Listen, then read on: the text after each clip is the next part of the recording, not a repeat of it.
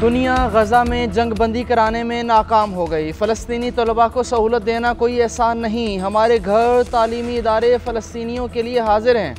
वज़ी अजम शहबाज शरीफ का पाकिस्तान में ज़ेर तालीम फ़लस्तनी तलबा के एजाज़ में तकरीब से ख़िताब। बोले, इसराइल की जानब से फ़लस्तियों की नस्ल कुशी जारी है।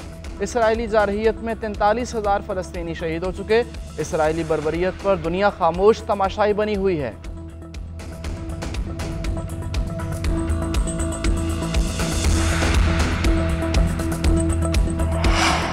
Justice Yahya Afridi supreme court के नए चीफ जस्टिस मुकर सदर ममलिकत ने समरी पर दस्तखत कर दिए। वजारत कानून की जानब से नोटिफिकेशन जारी। छब्बीस अक्टूबर को चीफ जस्टिस के अहदे का हल्फ उठाएँगे। नोटिफिकेशन के मुताबिक जस्टिस याहिया आफरीदी तीन साल तक चीफ जस्टिस पाकिस्तान रहेंगे।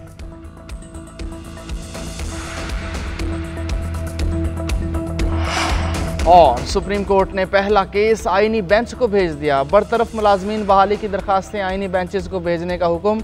जस्टिस मंसूर अली शाह ने रिमार्क्स दिए। छब्बीसवीं आईनी तरमीम में कहा गया, आईनी केसेस आईनी बेंचेस सुनेंगे। आला बेंचेस बनेंगे, वही तयन करेंगे। यह केस अहम आईनी बेंच ही सुनेगा। जस्टिस मंसूर अली शाह की सरबराही में तीन रुकनी बेंच ने केस की समाप्त।